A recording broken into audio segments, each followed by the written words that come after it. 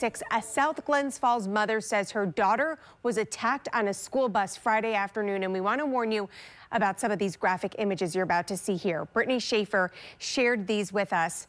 Uh, and that saying that her 16-year-old daughter was hit in the face by a 16-year-old girl using a metal Stanley drink thermos, you know, one of those big Stanley cups.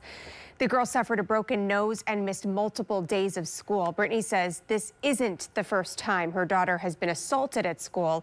Police are investigating. It happened on a school bus, and Shaffer tells us there's security footage of it.